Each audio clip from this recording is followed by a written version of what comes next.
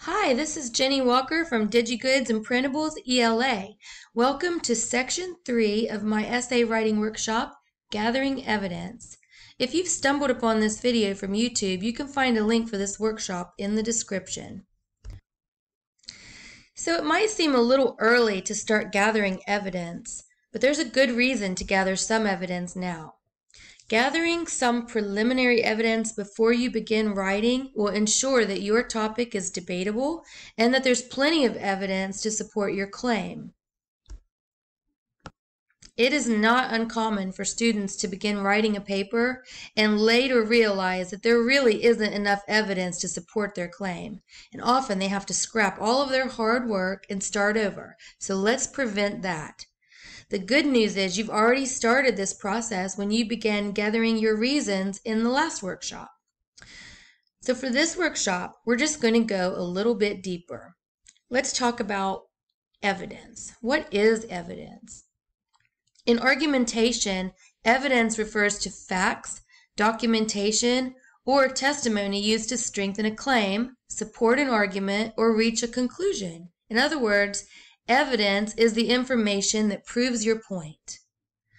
Let's look at the three main types of evidence that you can use in your, in your essay. Scroll down to approximately slide 30. For me, it's slide 30. It might be a little bit different for you. The three main types of evidence are facts, statistics, and quotes, also known as testimony. So let's break this down.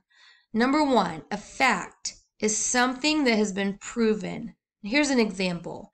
According to the official, official government website on bullying, www.stopbullying.gov, most kids are bullied in middle school and the effects may last well into adulthood or forever. This is a very reputable site, so we know that this is a proven fact.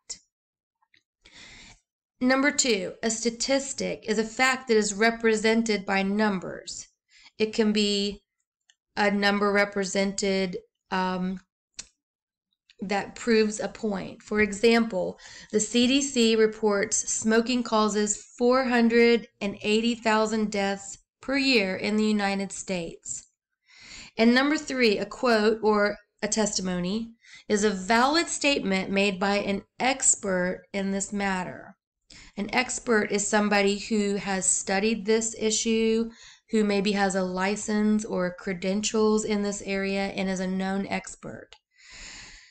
This could be directly cited in your paper or paraphrase, which means put into your own words, as long as you give credit to this person or to the source. Here's an example. According to Dr. Norton from the American Society of Pediatrics, children who are exposed to lead paint suffer from slower brain functioning. Notice that credit is given to Dr. Norton from the American Society for Pediatrics. So now that you know the three main types of evidence, it's time for you to begin gathering your evidence. On these slides, you'll notice that there is a place to gather evidence for body paragraph number one, in which you will gather evidence for your first reason. There's a slide to gather evidence for body paragraph number two, for which you will gather evidence for your second reason, and a place for body paragraph number three to gather evidence for your third reason. Now, you may not see all of these slides. Maybe your teacher is going to have you write a three paragraph essay in which you will only have one body paragraph which would mean your paper would have an introduction, one body paragraph, and a conclusion.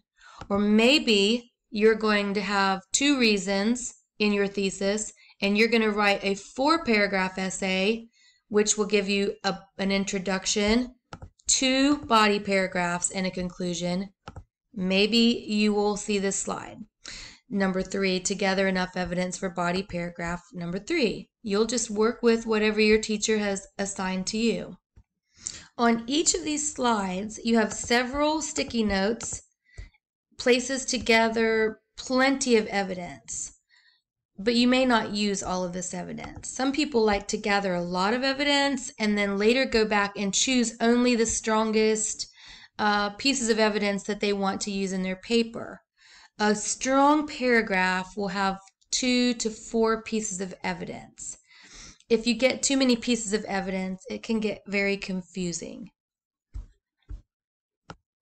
Also notice the gold star on this slide, which indicates that later you'll be able to come back when you're putting your full essay together and copy and paste these pieces of evidence. So you can come up here and just copy the evidence that you've already gathered and paste it into your paragraph and then later into your full essay.